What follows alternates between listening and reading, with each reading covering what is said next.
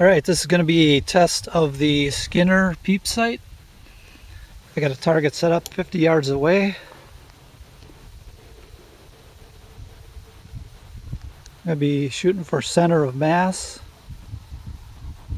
I've got a 158 grain hand load in here.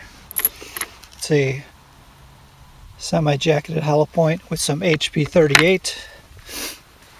Got the maximum load for HP 38.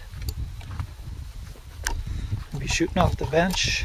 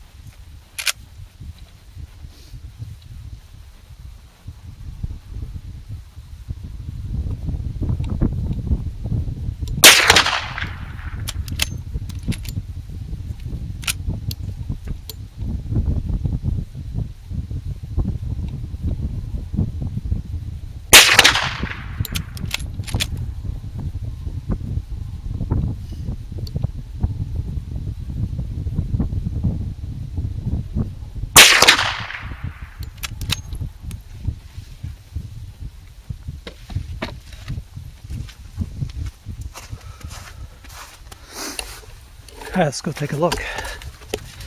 See what I did. Got a little bit of a crosswind going here, It's coming from the right. So we have had a little drift. I'm not sure about it. May not.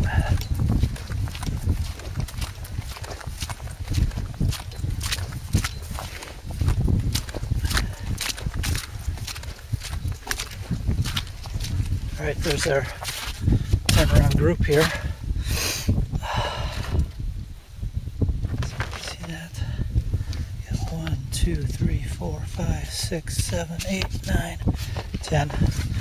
Not too bad. All right, this is going to be six-shot group at 50 yards.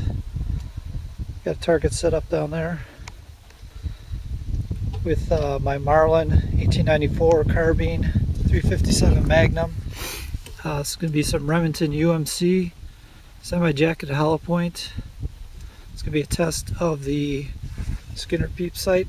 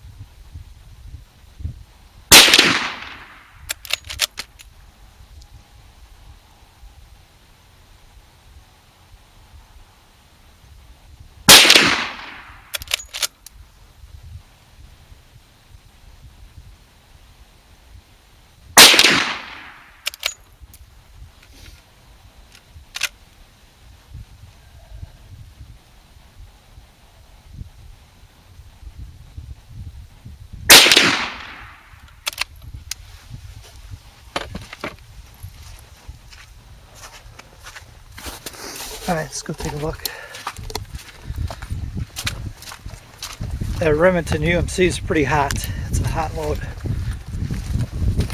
It's hotter than any of my uh, hand loads I've loaded so far for the gun. He's chrono about uh, 2,000 or 2,100 feet per second out of my uh, Marlin. Cool, shoot quite high. So here's the six shot group here.